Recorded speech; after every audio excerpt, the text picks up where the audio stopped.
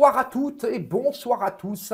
Très heureux de vous trouver dans cette chronique consacrée au top 007 des pires répliques de la saga. Alors, je tiens à préciser déjà deux choses, c'est que ce classement, il m'est personnel. Euh, à l'origine, j'avais présélectionné à peu près 25 répliques. Euh, je veux dire, ce choix et ce classement, il m'est personnel. Vous auriez eu un autre chroniqueur à ma place, peut-être que les sélections auraient été différentes et peut-être que le classement lui-même aurait été différent. Alors pourquoi j'ai sélectionné ces répliques? Tout d'abord pour trois raisons. Euh, et j'ai pris le parti de sélectionner en particulier les euh, doublages en français, pour une question d'accessibilité, parce que tout le monde, malheureusement, n'a pas la chance de parler anglais. Même si, à l'occasion, vous verrez dans cette chronique, j'utilise à la fois la version originale et la version française. Et donc, elles sont mauvaises, elles sont pas bonnes, elles sont voire carrément nulles, et ça, j'aurai l'occasion de m'expliquer à ce sujet-là, pour plusieurs raisons. Soit tout simplement parce qu'elles sont mal jouées, euh, ce qui peut arriver, ou alors elles sont hors de propos, mal intégrées, et finalement, euh, pour la troisième raison, c'est tout simplement elles sont incompréhensibles parce que finalement, le public français ou le public européen en règle générale ou le public américain, tout simplement, ne comprend pas la nature de la réplique, ne comprend pas son sens profond. Ce qui peut arriver aussi, et vous verrez que c'est le cas euh, dans cette chronique. Alors, le choix a été fait, comme je l'ai dit, de privilégier la version française plutôt que la version originale. Bon, c'est un choix que j'assume parfaitement, etc. Tout le monde ne sera pas forcément d'accord avec moi. L'essentiel, que vous soyez d'accord ou pas avec mon classement et l'ordre des, répliques, euh, l'essentiel, c'est de pouvoir en discuter, en débattre à travers le groupe, à travers la chaîne. Et comme je le dis habituellement, n'oubliez pas, si cette chronique vous plaît, de la commenter, de la partager, de la liker, etc. Et de vous abonner à nos différents réseaux sociaux dont les liens apparaissent en bas de cette vidéo. Alors, euh, les répliques dans la saga, c'est probablement ce qui caractérise avant tout le personnage de James Bond. Parce qu'il y a quelques très bonnes punchlines, etc. Depuis Docteur No jusqu'à euh, Mourir peut attendre. C'est-à-dire depuis 1962 jusqu'à 2021. Il y a parfois du bon, il y a du très bon, voire carrément du très mauvais. Ben, ça dépend des auteurs, ça dépend des scénaristes, ça dépend de beaucoup de, paramètres. Et donc, euh, cette sélection, après, comme je l'ai dit, vous serez d'accord ou pas avec moi, euh, mais peu importe. L'essentiel, c'est de pouvoir en débattre. Peut-être que vous aurez l'occasion d'aborder d'autres éléments, d'autres répliques, etc. C'est toujours intéressant d'en débattre. Et donc, on va commencer tout de suite, et euh, ben, pour le coup, avec mon numéro 7.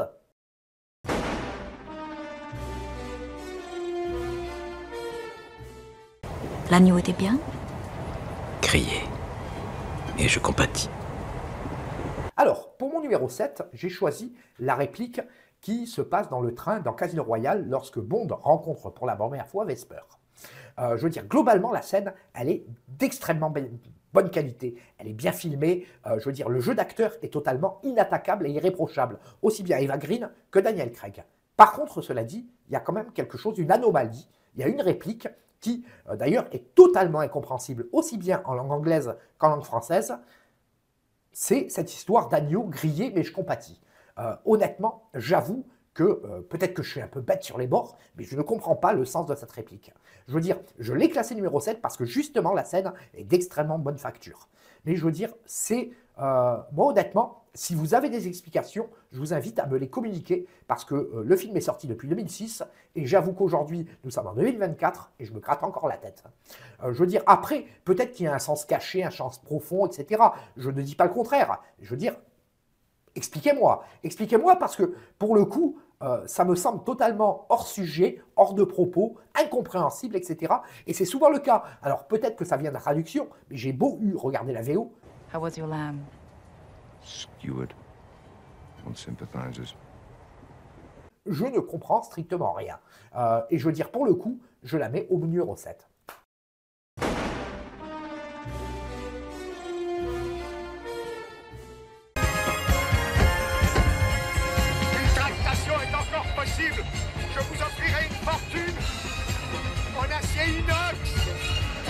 Pour mon numéro 6, alors là, on rentre dans quelque chose qui est beaucoup plus intéressant.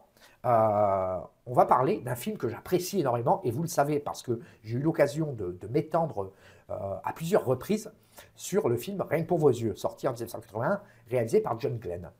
Euh, avant, avant dernier film de Roger Moore, et il y a une réplique en particulier qui m'a toujours, là aussi, fait gratter la tête. Euh, c'est la réplique de Blofeld à la fin du pré-générique. Euh, Monsieur Bond, je vous offrirai une fortune en acier inox. En fait, cette réplique en français, elle ne fonctionne pas du tout. Euh, elle est pas hors de propos, mais disons qu'elle est incompréhensible par la majorité du grand public. Et pourquoi? Tout simplement parce que ça renvoie à une culture qu'en Europe, nous n'avons pas et que la majorité des Américains, d'ailleurs, n'ont pas non plus. Il faut quand même revenir à des points historiques et des points culturels que la majorité des fans de Bond et la majorité du grand public n'ont pas.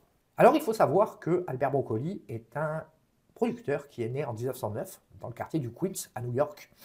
Et euh, il faut avoir aussi quelques notions, euh, je dirais, historiques, un petit peu de l'histoire des États-Unis, mais aussi de l'histoire d'Albert Broccoli. 1909, il naît euh, à New York. Et New York a été gangréné pendant de nombreuses années par la mafia américaine d'origine italienne dans essentiellement les grandes villes, Chicago, New York, Los Angeles, etc. Mais ce qui nous intéresse ce soir, c'est en particulier New York, la ville où a grandi euh, Albert Broccoli. Vers 1870, la mafia a commencé à œuvrer aux États-Unis euh, avec tout ce que ça engendre. Il y a beaucoup de films d'ailleurs qui parlent de ça. Mais ce qui est intéressant, c'est de mettre deux périodes en parallèle, c'est-à-dire 1870, la création de la mafia new-yorkaise, et en parallèle, euh, et la réplique qui parle de délicatessen, c'est-à-dire délicatessen, c'est pas vraiment une, charcuterie telle qu'on l'entend nous en France, mais plutôt une épicerie fine, euh, un endroit de, détente où on peut manger sur place, et finalement euh, un endroit euh, où on produit de la bonne chair, de la bonne bouffe, etc. le délicatessen, historiquement, ça vient de la communauté juive qui habitait en Europe de l'Est et qui a immigré massivement vers 1880.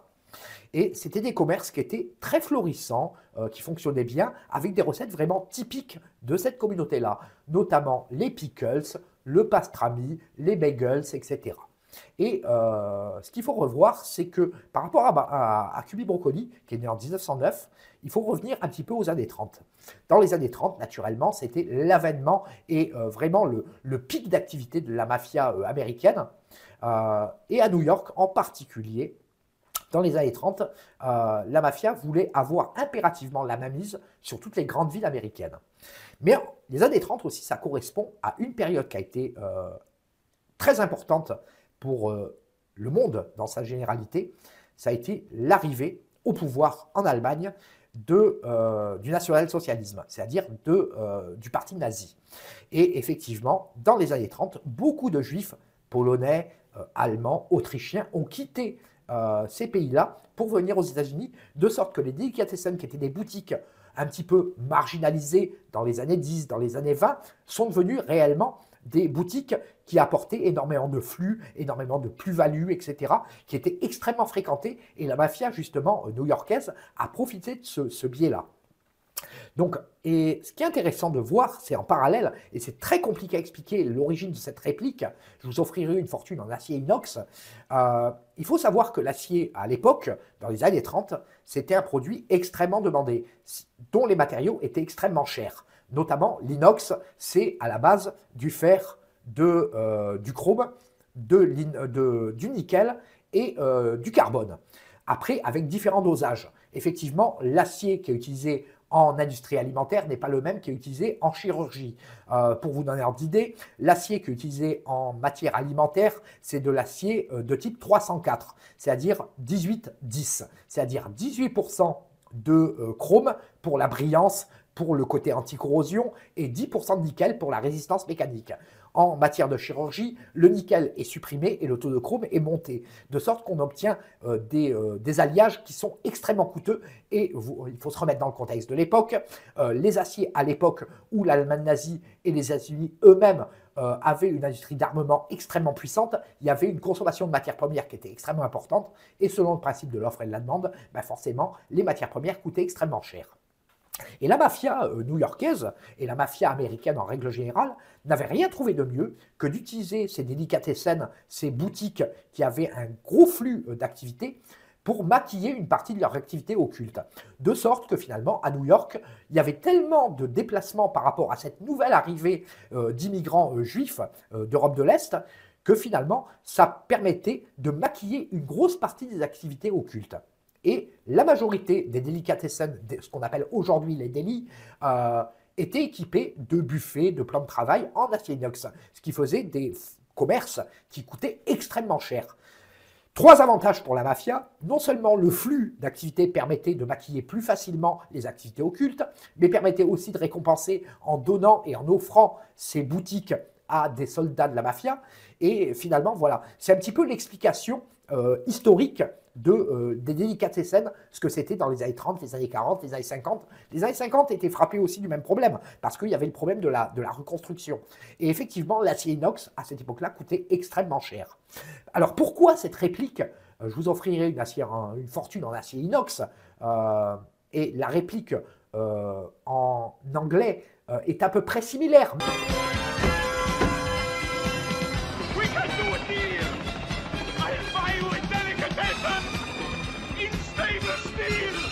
Même si je pense que les traducteurs ont essayé, quelque part de faire de, de l'entre-deux. C'est-à-dire ils n'ont pas totalement dénaturé la réplique, mais ils ne l'ont pas comprise. Il aurait été beaucoup plus simple de traduire en français, je vous offrirai une fortune en, euh, lingots d'or. Euh, je veux dire, je pense que ça aurait été plus accessible pour la majorité du plus grand nombre. Euh, mais je veux dire, voilà, c'est comme ça, on ne va pas refaire l'histoire, etc. Et pourquoi Cubi Broccoli a parlé de cette référence à la mafia des années 30 et des années 40 Tout simplement, et c'est très bien expliqué dans sa- son autobiographie qui s'appelle When euh, the Storm Melts, euh, quand, la, neige vient à tomber, euh, tout simplement parce que c'était une façon, entre guillemets, d'emmerder Kevin McClory, le producteur de J'irai plus jamais, et Cubi Broccoli qui n'avait plus les droits sur le Spectre et sur Blofeld depuis 1975.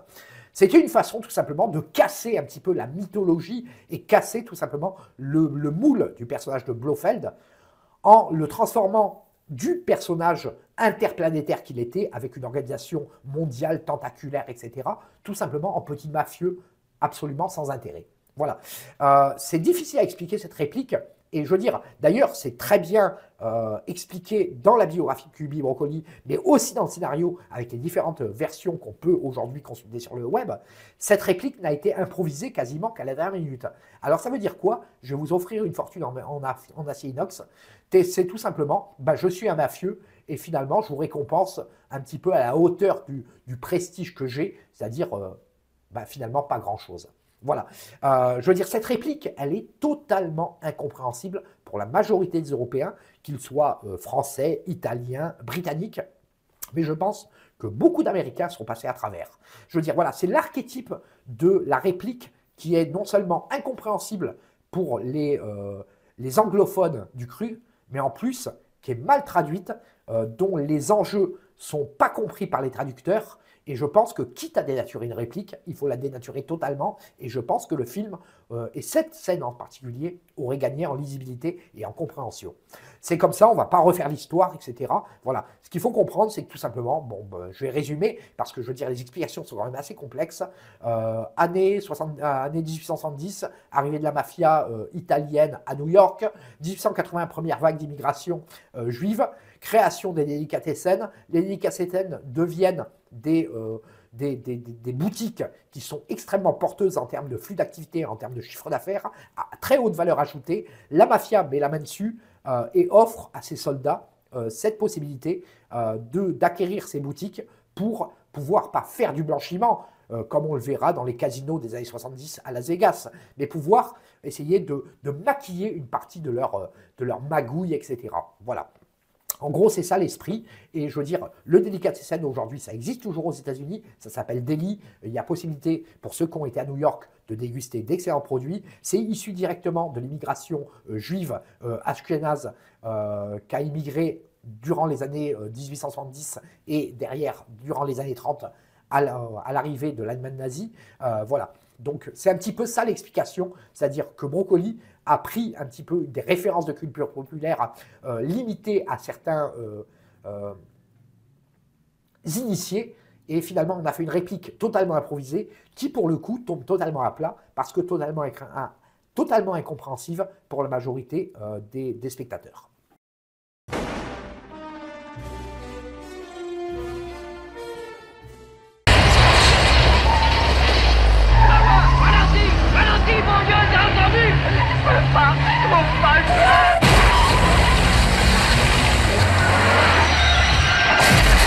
Alors, pour mon numéro 5, j'ai choisi une réplique de Vivre et laisser mourir. Là, pour le coup, on est dans la digence euh, totale.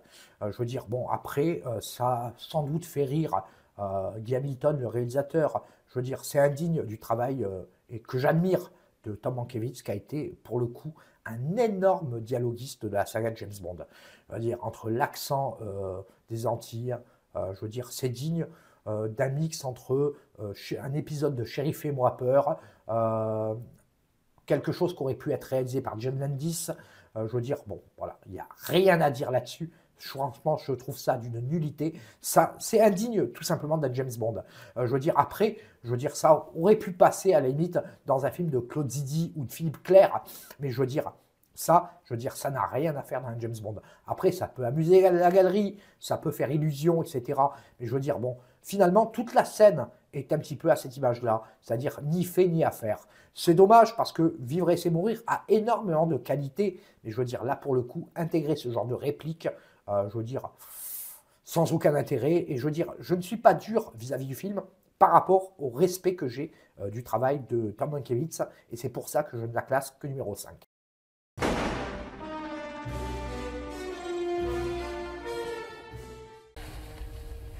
Pourquoi es-tu comme ça? Parce que Bond est mort. C'est ce que tu voulais? Oui, bien sûr, c'est ce que je voulais.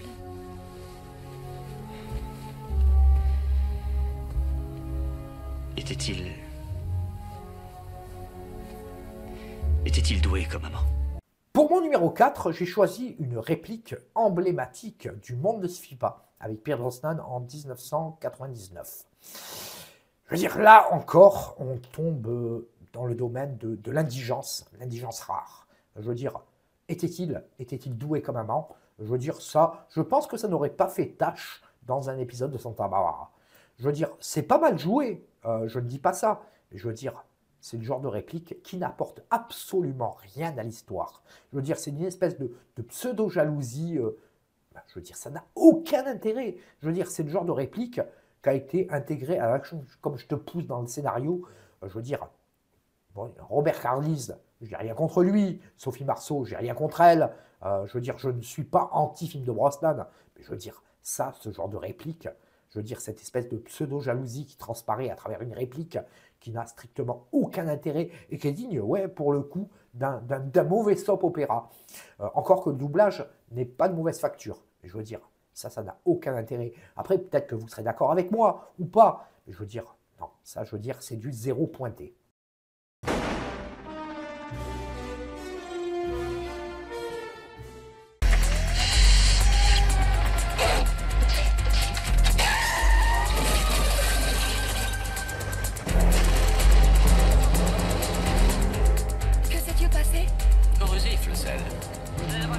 Numéro 3, euh, on va passer euh, là où bas blesse, et justement, je vais choisir une réplique de euh, Tu n'es pas joué avec Timothy Alton. Vous connaissez tous l'affection que j'ai pour Timothy Alton, en particulier son, interprétation de Bond dans Permis de tuer. Mais je veux dire, tu n'es pas joué souffre d'un problème, c'est que le scénario à l'origine n'était pas prévu pour Timothy Alton. Il était a priori prévu pour Roger Moore, euh, vraisemblablement pour euh, Pierce Brosnan. Et je veux dire, il y a des traces dans le scénario et dans les dialogues de Tu n'es pas joué qui sont clairement écrites pour Roger Moore. Et je veux dire, dans la, la séquence de la poursuite en Aston Martin, qui est très bien réalisée, qui est de très bonne facture, avec une super musique de John Barry, je veux dire, les répliques ne sont pas conçues pour Timothy Alton, qui est un monde beaucoup plus âpre, euh, beaucoup plus pince sans rire, etc. Et quand Dalton essaye de faire du pseudo-Roger Moore, ben, force est de constater que ça ne fonctionne pas. Un petit peu à l'instar de, Daniel Craig dans, euh, dans Mourir peut attendre, avec la réplique des chats de, de, de Q. Non, j'ai besoin de mettre la table. Vous savez que on en trouve avec des poils de nos jours. Euh, vous savez qu'il en existe avec des poils. C'est pareil, ça ne fonctionne pas, ça tombe à plat. Et je veux dire, voilà, ça c'est le genre de réplique qui aurait dû être supprimé au moment de la, du tournage. Euh, je veux dire, non pas que Dalton joue mal, mais disons que ça ne correspond pas à, son interprétation de Bond. Ça aurait très bien fonctionné, peut-être avec Connery, sûrement avec Moore. euh, sans aucun doute avec Brosnan, mais pas avec Dalton. Je veux dire, de sorte que finalement, ce genre de réplique, ça tombe totalement à plat parce que ça semble totalement artificiel. Euh, je veux dire, c'est dommage parce que la scène par elle-même euh, a beaucoup de qualités techniques, de qualités scénaristiques, etc. Mais non, là, clairement, je ne valide pas.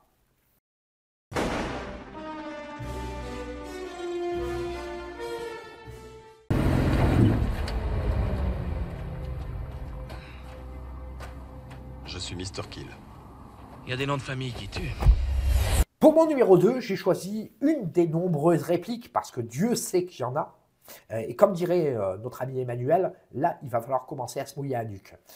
Euh, j'ai choisi une réplique de Meurt un autre jour, et en particulier une réplique, euh, je m'appelle Monsieur Kill, il y a des noms qui tuent. Alors là, pour le coup, on tombe là encore dans l'indigence, mais euh, vraiment c'est nul, c'est nul, il n'y a rien à garder. Je veux dire, c'est tellement facile le jeu de mots, ça me semble tellement euh, cousu de fil blanc que je veux dire, euh, je veux pourtant Dieu sait que le film peut, euh, on peut lui trouver des qualités, des qualités techniques, des qualités d'écriture, du moins dans cette première partie. Et là, je veux dire, ça, ce genre de réplique, ça me semble tellement facile que c'est indigne d'un monde. Je veux dire, après, peut-être que vous serez d'accord avec moi. Je veux dire, ça peut amuser à galerie, mais je veux dire, amuser à galerie ne suffit pas. Euh, je veux dire, je est-ce qu'il y a quelque chose à sauver dans les punchlines de euh, Meurt un autre jour? Euh, Franchement, je n'en suis pas convaincu. Après, voilà, je veux dire, c'est facile, c'est de l'humour, c'est euh, du niveau, je dirais, bon, euh, CM2, limite sixième, mais je veux dire, pas plus.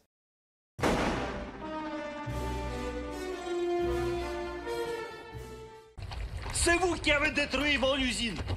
Vous avez noyé ma Rolls et maintenant vous essayez de me noyer moi dans mon propre caviar. Laissez-moi sortir. Dommage, je connais pas de champagne. Ni de crème. Numéro 1, allez, accrochez-vous. Euh, J'ai choisi encore une fois une réplique du monde ne suffit pas.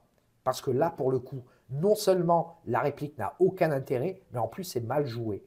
Euh, Denise Richard, euh, que je loue euh, dans le film, qui a un personnage qui n'est pas si évident que ça. Brosnan, qui essaye de faire ce qu'il peut, le pauvre. Je veux dire, non, non, c'est non, c'est juste pas possible. Je veux dire, ça me, la, réplique me semble tellement niaise que je veux dire, c'est c'est juste pas possible. C'est c'est un, c'est un scandale.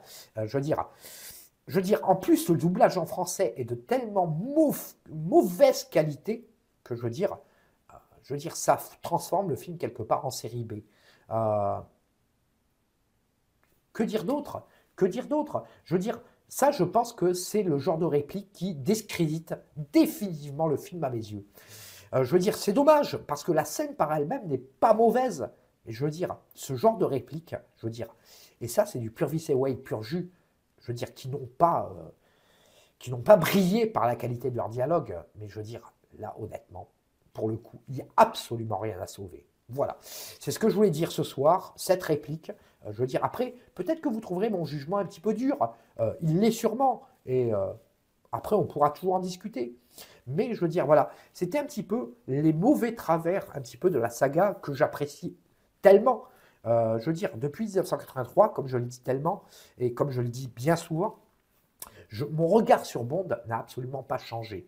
Euh, je veux dire, il y a des défauts, il y a des qualités, il y a des bons films, il y a des moins bons films, il y a des très bons films. Je veux dire, l'essentiel, c'est de prendre du plaisir à les voir. Mais quelquefois, il y a des répliques, des scènes qui, euh, fi- finalement, qui gâchent le plaisir. Et c'est dommage, c'est très dommage.